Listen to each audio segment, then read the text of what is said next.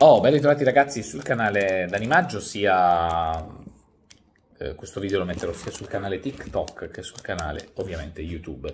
Eh, proseguiamo con questa collezione che avevo interrotto ma che poi ho ripreso subito perché alla fine volevo tutte 50 le statuette, i numeri quanti saranno. Sto parlando della collezione di Street Fighter, personaggi da collezione della De Agostini. Siamo arrivati al numero 16 che è Sakura o Sakura e il numero 17 che è T-Hawk, non Tony Hawk. Vabbè, eh, vado ad unboxare il contenuto. Quindi vi ricordo che questa collezione adesso è settimanale e non è più eh, ogni 14 giorni, ma appunto è diventata settimanale. Video molto rapido. Qua, come sempre, c'è il fascicolo che eh, non andiamo a vedere nel dettaglio, ma vediamo solo la parte centrale eh, con Sakura. Questi possono diventare tutti poster, come diceva il mago Gabriel, stupendemente sublimi. E mm, niente, dentro ci sono delle nozioni, delle notizie più che altro del mondo di Street Fighter, ma non soltanto del mondo Capcom anche. Eh, sono tutte notizie che riguardano il mondo di Street Fighter eh, ma non soltanto, anche in parte il mondo dei videogiochi. Vedete che l'uscita successiva sarebbe stata poi T-Hawk, che è quello che adesso andiamo ad aprire. Apriamo però prima Sakura, i fascicoli, quindi vediamo solo la parte che vi ho fatto vedere. vedere. Dovrò prendere una vetrina, credo solo per questo, perché 50 numeri sono tanti e sul mobile dove ho tante altre action figures non credo, cioè ci stanno ma un po' sparsi e non si vedono bene, penso che prenderò una piccola vetrina quando avrò completato tutta la collezione. Ecco qui Sakura, avrei fatto la collezione così mi sembra da Agostini, c'è anche di Dragon Ball, ma era da iniziare tempo fa, anche quelle di Dragon Ball sono carine, però queste di Street Fighter le ho cominciate dal numero 1, vi ricordo che il numero 1 è costato 1,99 euro, poi 5,99 euro la seconda uscita, la terza uscita 8,99 euro se non ricordo male, adesso tutti questi numeri costano 12 euro, 11,99 euro.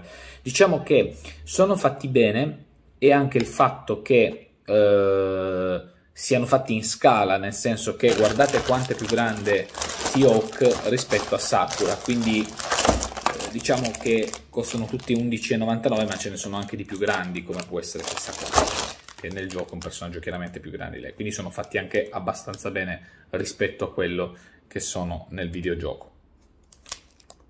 Quindi questa è Sakura, unboxiamo Yok, questo è un modo per farmi conoscere anche su TikTok, per la mia passione videogiochi e action figures e fumetti.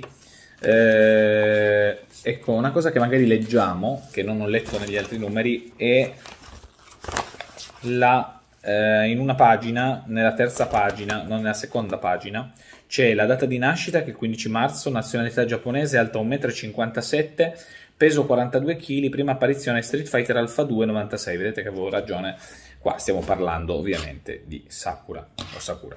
Invece T-Hawk, leggiamo solo questo del fascicolo dopo aver visto la parte poster che è quella centrale, che è figa anche questa questi anche sarebbero fighi, li tengo tutti per poi un giorno cercare di incorniciare magari tutti i singoli poster, vedrò, vedrò se farlo insomma.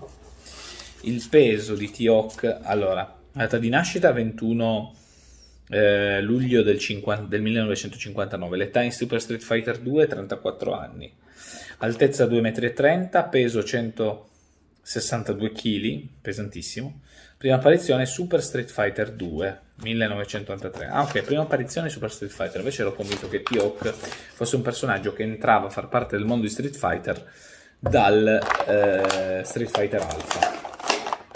Quindi andiamo a... vi ricordiamo il prossimo numero che sarà Yuri, che era una donna, anche questa facente parte dell'universo da Street Fighter 0 o Street Fighter Alfa anche lei, non ricordo bene, lo scopriremo nel prossimo numero che sarà la prossima settimana.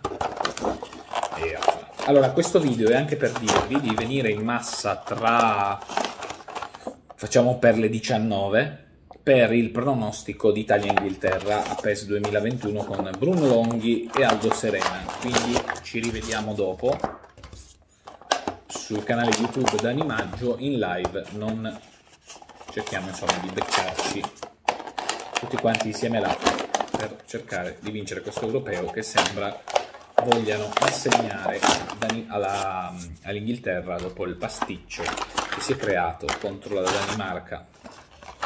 La pagliacciata che si è creata contro la Danimarca.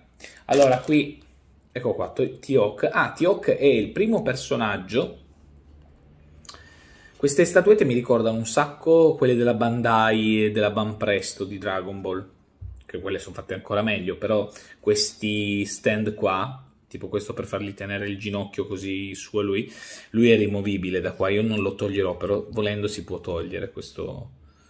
Eh, è il primo che vedo, non gli altri personaggi finora di Street Fighter, alla numero 12 per... Eh, scusate, alla numero 17, questa è Tiok, per poter far stare il personaggio in questa posizione gli hanno messo il... Eh, per farlo stare meglio, insomma.